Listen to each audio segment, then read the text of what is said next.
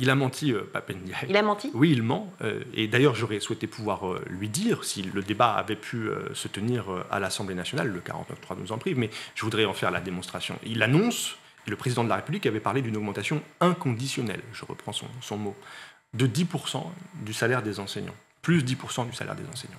Alors, il y a euh, ce qu'on appelle les bleus budgétaires, c'est-à-dire euh, par, euh, par mission budgétaire, en- ce que prépare le gouvernement. Quand on les lit, qu'est-ce que l'on constate? On constate que Papendiaï propose 1,9 milliard d'euros en année pleine pour augmenter le salaire des enseignants. Or, la masse salariale dans l'éducation nationale, c'est 50 milliards d'euros. Je fais un calcul très simple, 2 milliards, 1,9 milliard, 2 milliards sur 50 milliards, c'est plus 4%. On est très loin des 10%.